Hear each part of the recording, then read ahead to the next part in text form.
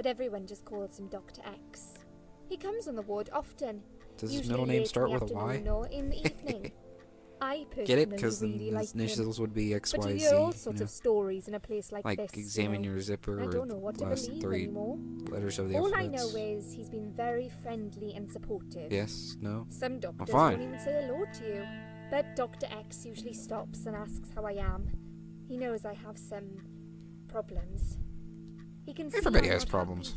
I have He problems. You have me some problems. Free weekly sessions. I think I might Yeah, you, the one watching the video. Yeah, What are they saying you have about problems. I'm sure you have problems. They say he's a big flirt. But it's okay. Nurses, cleaners, patients. You're not alone. He If you have a problem, you can come As talk to me. wearing a I'm going to school for One girl I psychology. knew, Linda. I heard they had an affair. And I like to help people. Girl. Well, she left, and I never saw her again. Now, why do you think that is? Dr. X got her knocked up. They covered it up and quietly got rid of her. Probably paid her some money. I don't know how these things work, but it must have been enough to And that girl was a slut. I bet he'll be more careful now. But I can't really say a bad word about him, personally. Well, one thing. Maybe. Don't laugh, okay? Okay. What a weird smell. What do you Ah. mean? He smells funny. I don't know. Maybe it's just bad aftershave. Or maybe it's something he eats. Oh, thanks for the warning. I'll try not to get too close to him. Now that I think about it, there's something else too. I'll tell you this, Susan. He starts talking to you, and you just open up and tell him everything. It's very odd. I don't exactly hide things from people. He's a good but he got psychologist. some really private stuff out of He's me. too good. I don't trust him. You know what I mean? Things I wouldn't I tell really don't mother trust him. And we haven't even started those sessions yet. So be prepared for that. Sure. But it's a bit too late for me to hide how I feel now anyway. I think I made it very clear when I swallowed those pills. Uh, kinda. Did What about this daughter of mine? Daughter of mine. No, sorry, Susan. Apparently, she came in the ambulance with you, but then she remembered something and had to go. I think someone mentioned she went in quite a hurry. Of course she did. She was worried I'd ask her what she was doing in my flat. Um, saving your life? Do I really have to give her a benefit of the doubt just because of that? One would assume so. That girl is a hero.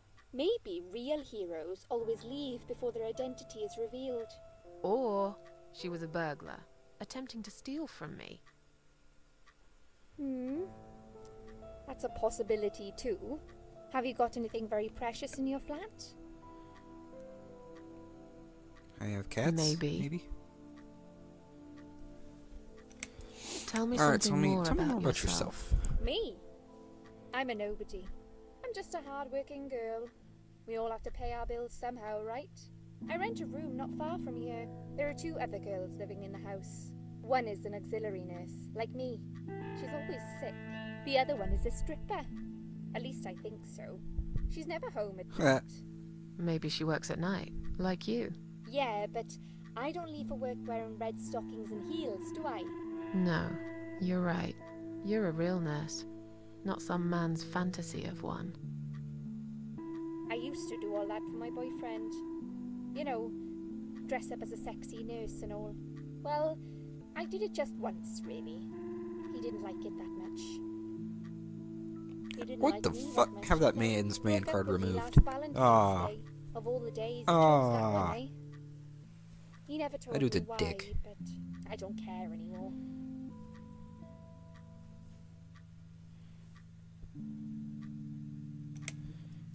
It's I'm okay. tired. Let me sleep now. Fine. How do you I'll not you like a again. Be fucking careful who you sexy nurse? How do you not like that? you. How do I know you're not one of them? You don't. But do I Oh. really look like a bad person to you? I. I Mm, don't know. Maybe not. No, not really. I'll see you Uh, tonight. No. Well, Okay. Remember what I said. Alrighty, I will. Dreams are just dreams.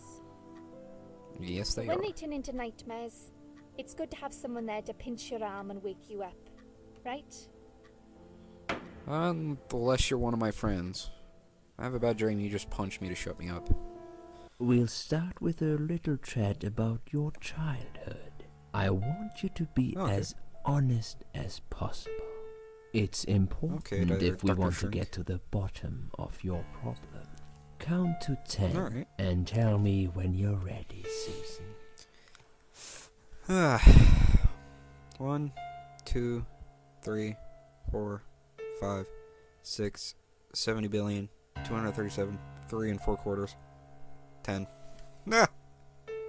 This isn't all about whether you're nuts or not, like we said before. It's about finding Bullshit. what has caused how you're feeling now and creating a working solution. In order to achieve that, I need to get to know you better. Can we talk about your get to know you childhood better. first? Your parents. Sure, why the when you're a child, your life revolves around them. What was your father Dirt. like? Did you have a good relationship with him? No, actually, I, I, I no, no. It's. I'm, I'm gonna answer these uh my own way. Yeah, no, yeah. he wasn't a good father to me. I had a bad father, He was a cold, and he's scary still man. here. Had this wall around him. I could never talk to him about anything. He wouldn't understand. He'd just punish me instead. Yep. Maybe it's his fault I got some wires crossed in my head. Because he never loved me. I've always wondered what it feels like to have a loving dad. Maybe it's not too late to fix things between you two. It is. He's dead. Cancer. Six years ago. I see. But it isn't too late for you to put things right in your heart. Have you forgiven him? Hmm. Why would I? Nope. He doesn't deserve to be forgiven. All he did was make my life hell. He destroyed my childhood. He always made me sad. Yes, sad is the word. It's all true, Susan. But the anger you have kept in your heart all these years isn't doing you any good. My good. ear's itching again. Don't you think you would be a better, Ah. stronger person if you could rise above it all? Aren't you becoming a bit like him, angry and bitter? Aren't those the things in him you hated most?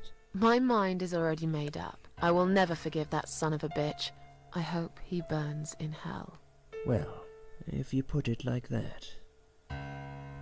Let's talk about your mother. I'll try to change my mind, Doctor. I What will was stab you. Alright, fine. like? Talk to my mom. Would you care to tell me about her? Sure. Yeah, my mom was awesome. I can't complain. My mum was great. She brought me up well. Me and her, we were like best friends, like soulmates. We did everything together. She passed away pretty. seven years ago. When Dad first got diagnosed with cancer, it was too much for her. He kept pretending he was fine, but she just couldn't take it. Her heart gave up. She died quickly. My father kept fighting it. Another eight months of illness and intensive chemo finally beat him, though. He thought he was unbeatable, but he wasn't. Okay, I'm beginning to get a better picture. That's enough about your parents you are. for now. Let's take two minutes, and we will talk about something else. Fine. What are we gonna talk about? Oh. Oh, do I have control? I do. I need to what- get out of this oh. place. I hate hospitals. Besides, I really want to go home and forget all about this.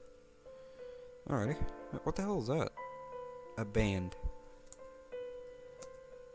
It's a clip-on hospital wristband. It's got my name, date of birth, and hospital number on it. Oh, okay. Um. Oh, yeah. Oh, fucking. Okay. Okay, there we go. Um, calling in a session here.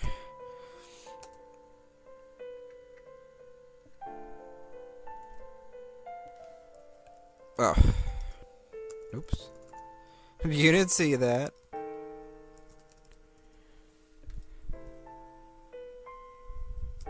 Oh. Alrighty, so.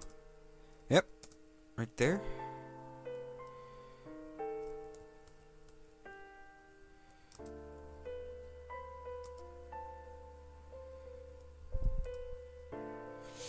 So, uh, thank you guys for joining me. Remember to like, favorite, share, subscribe to my videos. And I hope you guys are enjoying this because I am. I'd like to keep doing this. So, uh, until then, I will see you guys next time. Bye bye.